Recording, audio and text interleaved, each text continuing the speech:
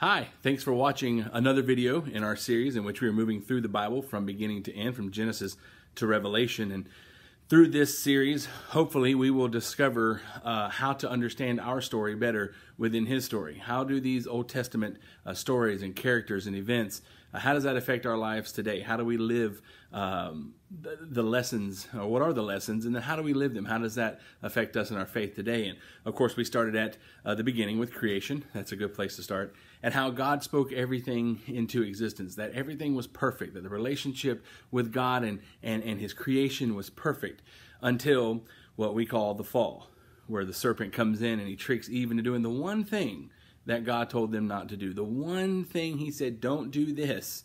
And that's the one thing that they did. And we talked about how Satan is still just as crafty today, that uh, he still uses the same excuses. He tries to get us to doubt uh, what God has told us. And, and he slides through and he manipulates God's word. Just like when he said to Eve, Did God really say you couldn't eat from any of the trees? Well, that wasn't true. What God said was, Don't eat from this one particular tree. Satan comes and he twists those words and he tricks her. And of course, Adam was standing there uh, off to the side watching. And when she didn't die like God said she would, then he took a bite of it. And, and here we are all these years later, uh, suffering from the fallout of their decisions. But then we fast forwarded just a few chapters to uh, the flood. We're introduced to Noah and his family.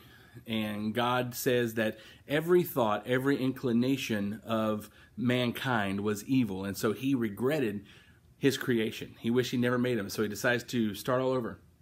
He decides to destroy his creation, save Noah and his family, and start all over. And so, uh, last time we left off, uh, we thought you think, hey, everything's going, going well. You know, God had destroyed everything, started over, fresh start. Uh, except the problem was when we left off last time, uh, all of mankind had collected this place called Babel, and they decided to make a name for themselves. And even though we are still at the beginning of the Bible, a pattern has already developed. See, people sin, uh, people face the consequences, God redeems. And then after God redeems, people sin, people face the consequences, God redeems. As we've already seen, because of the fall, the world was broken. The relationship with God was broken, but God is a God who fixes what is broken. Like I said, we ended last time with the picture uh, not looking so good. They wanted to make a name for themselves. Even though God had redeemed, here they were still uh, defying God to make a name for themselves. And so God had to confuse their speech and spread them out uh, to get them away from each other. They had not followed what God had told them to do once again. But just when you think humanity has no hope, God launches a plan of redemption that was global. He was going to create a people for himself that would embody and spread his salvation to every group of people on earth. And that's a plan that is still being followed today, a plan that all of us have a role to play in. We're all in that plan right this very minute. If you're watching this video, you are serving in that plan right this very minute. And God sets his plan into motion by calling one man living in the middle of an idol worshiping nation. He calls him away from everything he knew. And then he promises to change the very course the of Lord history. The Lord had said to Abram, through Leave him. your native country, your We're introduced to that man in Genesis chapter 12. go to the land that I will show you. nine verses. I will make you into a great nation.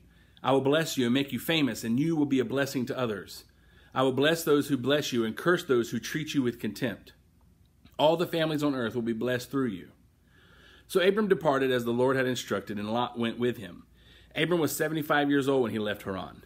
He took his wife, Sarah, his nephew Lot, and all his wealth, his livestock, and all the people he had taken into his household at Haran, and headed for the land of Canaan. When they arrived in Canaan, Abram traveled through the land as far as Shechem. There he set up camp beside the oak of Moreh. At that time, the area was inhabited by Canaanites. Then the Lord appeared to Abram and said, I will give this land to your descendants. And Abram built an altar there and dedicated it to the Lord, who had appeared to him. After that, Abram traveled south and set up camp in the hill country, with Bethel to the west and Ai to the east. There he built another altar and dedicated it to the Lord, and he worshipped the Lord. Then Abram continued traveling south by stages toward the Negev. The story of Abraham is quite an incredible story. Whether it's the story of Abram leaving his home with all that he owned, or, or God making the covenant with Abram, uh, or Abraham and Lot and Sodom and Gomorrah, or, or Abraham being uh, required by God to sacrifice his son Isaac, it's apparent that Abraham is on a journey of faith. Sarah was 65 years old and Abraham was 75 years old when God called them on this journey of faith. In our time together, I want to look at this journey and see what we can learn about our own journey. Have any of you ever played fantasy football? Have you ever heard of fantasy football? Uh, maybe you haven't. Well, real quick, fantasy football is where you can draft uh, any players that currently play in the NFL and put them on your fake team. Uh, yes, it's pretend. Yes, it is fake. Uh, but no one ever talks about that. We like to call it fantasy instead of fake football. But then teams play against each other and you see who wins at the end. I wasn't really into fantasy football until uh, just a few years ago when I decided I wanted to play with uh, some of the, the, the, youth guys. And uh, then I got hooked and I kind of got addicted to it. Uh, but, anyways, um, fantasy football is, is interesting. It's fun to watch. But something that, that shocks me every year still, or surprises me is, is that no one ever picks me to be on their team. Uh, every year I put my name out there, and no one ever selects me to be on their football team. I mean, what makes uh, me any less important, or or makes me not as good as Tom Brady, or uh, you know Patrick Mahomes, or Dak Prescott, or or Deshaun Watson, or you know what what makes them any better than me? Well, okay, okay, you may say I don't play for an NFL team, but I could walk onto the Saints practice field tomorrow and make the team, right? Couldn't I? Well, hopefully you're not laughing at that uh, because you and I both know if I walked onto a football field and tried to be a walk on for a team, the chances of me making the team are slim to none. And if you think about that, you can kind of guess of what it had to feel like for God to pick Abraham. I mean, let's put it out there. Abraham was old. If you and I were picking a couple to start a new nation, we'd probably pick a young, healthy, strong couple who can run triathlons and rescue kittens from burning buildings. But God chose Abraham. But see, when you read through the Bible, he's not the only one that leaves you scratching your head. I mean, yeah, Abraham was old, but Jacob was insecure, Leah was unattractive, Joseph was a slave, Moses was a stutterer, Gideon was poor, Samson was prideful, uh, Rahab was a prostitute, David had an affair, Elijah was suicidal, Jeremiah was depressed. Uh, let's see, who else? Jonah ran from God, Naomi was a widow. And, and see, that's just the short list from the Old Testament. You go into the New Testament, you see John the Baptist was eccentric to say the least. Peter had temper issues. Martha worried a lot. The Samaritan woman had several failed marriages. Zacchaeus was hated. Thomas had doubt. And Paul had poor health. And the list goes on and on and on. And yet God used every one of them to do something amazing. When you go through and read the Bible, you see that God's fantasy football team was a joke. It was terrible unless you look at the end score. Look at the end of the season. And Abraham and Moses and David are still being talked about today. See, God uses the unlikely to do the unthinkable. The world may look at us and say, oh, that's a terrible lineup, but God says, oh man, I want to use you here if. If what? If you just have faith. And everything seems to come back to this word faith, this word for standing on something firm, for stepping out and saying, I completely lay my weight down on you. Abraham was on a journey of faith. We are on a journey of faith. And how do we allow God to use us to do unthinkable things? What does it look like? Well, there are four things that I see in Abraham. First, it always starts with a dream. God begins with a dream or a vision to say, Can you imagine this? In Genesis chapter 15, he takes Abraham outside and he tells him to look up at the stars and tells him that his descendants will be as numerous as the stars, that his descendants will be a blessing to the whole earth. God never says, imagine this, everything is going to stay the same way it's always been, and nothing will ever change, even 20 years from now. So just keep going like you've been going. No, no, it's always can you dream of something different? Can you dream of something bigger, something better? But I'll tell you something life has a way of beating the dreams out of you. We hear and, and even tell others don't get too excited, consider the facts, be realistic. I'm glad there was no one around Abram that day when God called him to leave. Because they might have told him, hey, Abram, be realistic. Face the facts. This is insane. Where are you going? You don't even know. Man, just, just stay right where you are. There's no sense in changing. Come on, man. Because to the outside world, it didn't make sense. The facts pointed to them not following God. Everything said no, but God said go. It's about being, it's not about being realistic, it's about being faithful. So you see the dream, God asks you to think of a better future. The next thing you have to do is obey the call. Let's go back and read what we read earlier in Genesis chapter 12, verses 1 through 4. The Lord had said to Abram, Leave your native country, your relatives, and your father's family, and go to the land that I will show you. I will make you into a great nation. I will bless you and make you famous, and you will be a blessing to others. I will bless those who treat you, I will bless those who bless you, and curse those who treat you with contempt. All the families on earth will be blessed through you.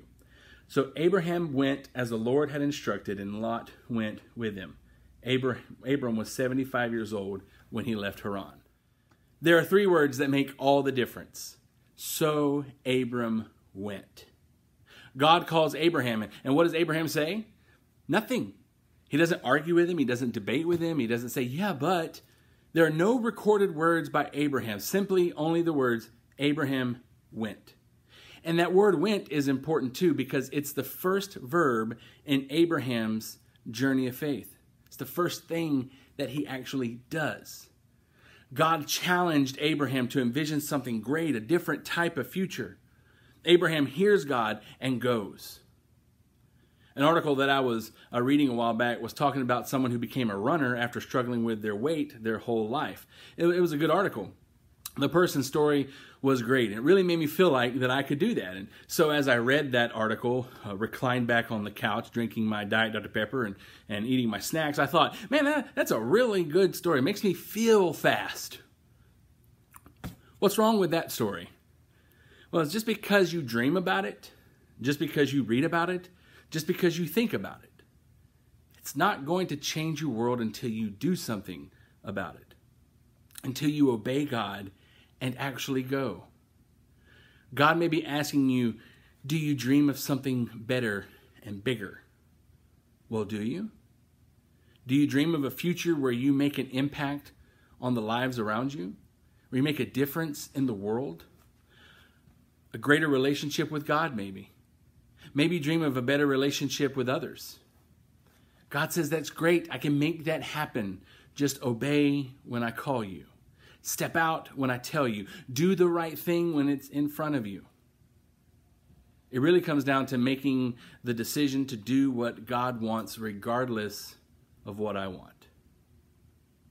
And see, we've all made that commitment. We've all said, God, I want to follow you, and I'm willing to go wherever I want to go. Wait, that's not the commitment we made. And yet, that's the commitment that we live. Is that God, I want to follow you and I will go wherever I want to go. Okay, fine. I committed to go wherever you wanted to go. So I will go wherever you want me to go as long as it's where I want to go. No, instead, we should be saying, I will go wherever you want me to go, even if that's not where I want to go. You ever heard of a backseat driver?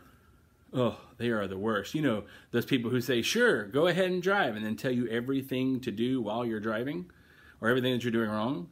Uh, I thought we should have turned there. Why don't we turn back here? You're going too fast. You're going too slow. You didn't fully stop at that red light. You know, on and on and on.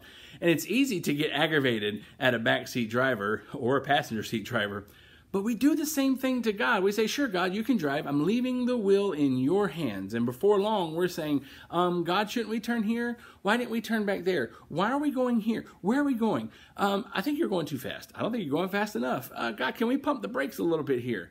I don't like this. Maybe you should just slow things down. See, we do the same thing to God. We tell him we trust him, and yet in our actions, we backseat drive him. Well, back to Abraham we, we need to see the dream, then we need to obey the call, and next, we need to believe the enabler. Abraham and Sarah and all their family were called to leave their home, which is basically modern day Baghdad, uh, and travel about 700 miles. And when they got to the land that God had promised, there was a famine there. So they ended up traveling down to Egypt. All in all, it was about 20 years after God called them that they were moving towards the promise. Have you ever waited 20 years in faith for God to do something? Some of you watching this may not even be 20 years old. Have you waited a year? Have you waited six months? I mean, 20 years, good grief, most of us don't want to wait 20 minutes, much less 20 years. Because we're a society of right here, right now, right? Some of us remember dial up internet. Of course, some of you also remember no internet, but some of us remember dial up internet when you had to take, it took forever to connect and you had to listen for the sound and then it would finally connect. And after about 20 minutes of trying, you're finally on the internet. But please, nobody pick up the phone because somebody picked up the phone, it disconnects, you have to start all over again. But we were willing to wait. Now, if it takes five seconds to pull up a page on my phone, I get frustrated and walk away. Not worth it. Because we are accustomed to getting what we want when we want it right now. See, we have to trust, we have to believe the enabler. What we need to remember is delay does not mean denying. Abraham and Sarah waited. Now, they did get a little impatient there and decided to push things along. And so Sarah offered Hagar, her uh, handmaiden, offered Hagar to Abraham and said, Here, you can have a child with her. We can fulfill the promise that way. And they end up having Ishmael. But God says, No, no, no, no, no, no. I'm not, I'm, that's not how I'm going to make this happen. I'm going to make this happen. See, you're trying to make my promise happen, but I promised it, which means I'm going to make it happen. And this is not my plan. See, here's the thing trusting God means that we have faith that He is never going to abandon us, that He will see us through. Faith is not microwavable. Oh, we love a microwave, don't we? Because if you can cook something without having to do the whole oven thing, that is great. I mean, I don't know about you, but I don't even have time for the oven to preheat. I hit the preheat button, I put whatever I'm putting in on the pan, I slide it in there for its ever preheat. Because my thinking is, as it's preheating, it's also cooking, which cuts my time down, right?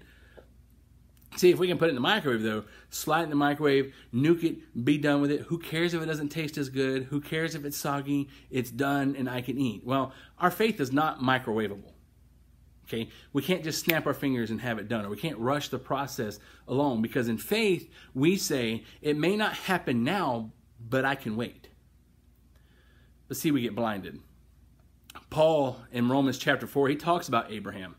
And even after all those years, and he talks about how Abraham still had hope, even when there seemed to be no hope. But in verse 19, it says, without weakening in his faith, he faced the fact that his body was as good as dead, since he was about a 100 years old, and that Sarah's womb was also dead. I love that word, facts. We want facts. We want to live by facts. Don't give us theories, give us facts. Be realistic about the facts. But there's there's a tiny problem with facts. And there's now facts in themselves are not wrong. They're not evil. And yes, we should we should strive to to want to know the facts and not live our life outside of facts. But here's the tiny problem with facts, and that is sometimes God changes the facts. Okay? The fact was Abraham was old. He was as good as dead. That's really uplifting, by the way. But he chose to believe that God would be true to his promise. Abraham said, I'm old, Sarah's old, we're as good as dead. That's the facts. But I'm trusting in a God who can change the facts. We think we have it all figured out simply because we have all the facts. We say this disease is incurable, and God might say, Oh, yeah, watch me. We might say, oh, that addiction is impossible to overcome. And God says, watch what I do with them. We might say, this relationship isn't repairable. And God says, I can fix it. We say things like, fact is, people don't want to hear about God anymore. Fact is, they'll think I'm crazy. Fact is, I don't know what I'm talking about. And God says, let me use you. Just let me use you. Abraham believed more in the Father than he did the facts. Are there any facts that are scaring you right now? I'm not saying throw caution to the wind and do something completely idiotic, but I am saying is that God's call is for us not to trust in us, but to trust in Him. when it comes to our own journey of faith, if we want to be more like Abraham and his faith, then we need to see the dream. We need to envision bigger, to see a better future than what we have already. And then we need to obey the call, not just see it and say, oh, that'd be nice, but actually move on it. Something that's very important in this process is prayer. I don't know about you, but it's something that I struggle with. Um, I struggle with knowing that God hears my prayers, knowing that, that God is, is concerned and cares about the things that I care about. I have a hard time uh, with prayer. But I, I, know this the times that I have prayed and then lived as though it's going to happen, it happened. We should go before God and lay it down before Him. We need to pray and then live as though it's going to happen. And even when we think that things are not moving at our speed, we need to believe the enabler. That God will bring about what's best for us and for, uh, for His church, especially at a time like this, as long as we are actively seeking His will. I wish I could stop there because the last one is the most difficult thing about Abraham's life for me to read. See, the fourth thing, and this is hard, but we should keep trusting him even when we're tested. God promised Abraham a son, and a son he got. The Bible says it was sometime later. We don't know exactly how long, but scholars think it might have been about 15 years. So Isaac was at least a teenager, if not older by this time, when we read Genesis chapter 22. Sometime later, God tested Abraham. He said to him, Abraham, Here I am, Abraham replied. Then God said, Take your son, your only son, whom you love, Isaac, and go to the region of Moriah. Sacrifice him there as a burnt offering on a mountain I will show you. Early the next morning, Abraham got up and loaded his donkey. He took with him two of his servants and his son Isaac. When he had cut enough wood for the burnt offering, he set out for the place God had told him about. On the third day, Abraham looked up and saw the place in the distance, and he said to his servants, Stay here with the donkey while I and the boy go over there.